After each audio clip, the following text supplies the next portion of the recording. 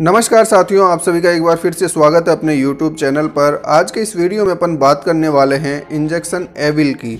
Evelyn वेट के नाम से उपलब्ध होने वाला ये इंजेक्शन पशु चिकित्सा के बहुत ज़्यादा केसेज में, बहुत ज़्यादा बीमारियों में इसका उपयोग अपन करते हैं। तो क्या होता है ये एविल इंजेक्शन? कौन सा इसमें साल्ट होता है? कितनी मात्रा में उपलब्ध होता है?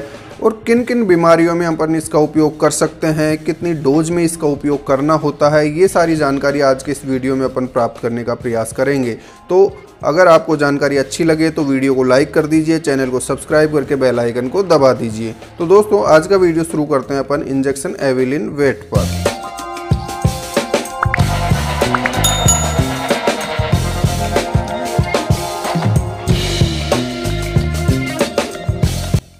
इंजेक्शन एविलिन वेट जो होता है, इसमें फेनरामाइन मेलेट नाम का साल्ट होता है। फेनरामाइन मेलेट जो ड्रग होती है, वो हिप्नोटिक या सिडेटिव भी होती है और इसकी मात्रा इस इंजेक्शन में बाईस पॉइंट सात पाँच एम जी पर एम एल होती है। ओवरडोज करने पर ये सिडेटिव का काम करता है और हिप्नोसिस को इंड्यूस करने के लिए भी अपन इसका उपयोग करते हैं। जब इसको ओवरडोज दे देंगे तो ये बिल्कुल सिडेटिव की तरह काम करता है। तो अपने को इसकी ओवरडोज कभी भी नहीं करनी होती है।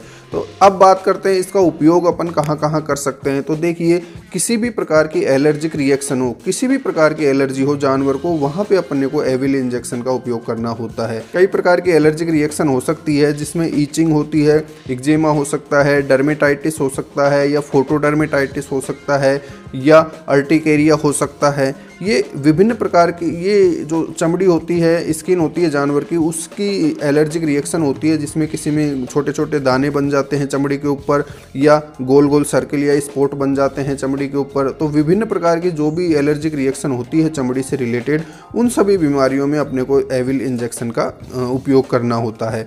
इसके अलावा राइनाइटिस हो सकता है, जिसमें जो नेजल पैसेज है, उसका इन्फ्लामेशन होगा नेजल डिस्चार्ज होगा रेगुलर न्यूमोनिया का केस है, उसमें भी अपने को एविल इंजेक्शन निश्चित रूप से काम में लेना चाहिए।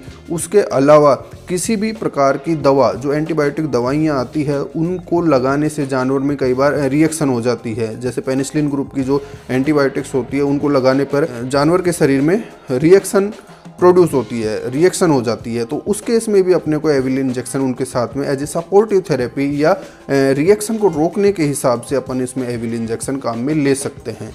उसके अलावा और कौन सी जगह अपन इसको काम में ले सकते हैं? तो लेमिनाइटिस का केस हो या एनाफाइलेटिक सोक का केस हो। सोक में आ जाए जानवर तो उस केस में भी अपन को एविलिन इंजेक्शन काम में लेना है। उसके अलावा ब्लोट हो जाए कई बार रोमिनल एटोनी यानी रोमन की मूवमेंट कम हो जाने की वजह से जानवर में ब्लोट आ जाता है, आफरा आ जाता है, वहाँ भी अपन एविलिन इंजेक्शन का उपयोग ले सकते हैं। अब बात करते हैं इसकी डोज की। तो देखिए, इसकी डोज जैसा कि मैंने शुरू में ही बताया कि ओवरडोज करने पर ये हिप्नोसिस प्रोड्यूस करता है। ओवरडोज होने पर यह सिडेटिव की तरह कार्य करता है, इसलिए अपने को कभी भी ओवरडोज नहीं करनी है। स्मॉल एनिमल में पॉइंट से लेके दो एमएल तक ये अपन इंजेक्शन लगा सकते हैं। उसके अलावा जो लार्ज एनिमल्स होते हैं, उनमें अपन ये पाँच एम से लेके दस एम तक इसकी डोज दे सकते हैं। और ये जो इंजेक्शन होता है इंट्रामस्कुलर भी लगा सकते हैं और इंट्रावीनस रूट से भी अपन लगा सकते हैं। तो ये सामान्य सी जानकारी थी आज की एविलिन वेट इंजेक्शन से रिलेटेड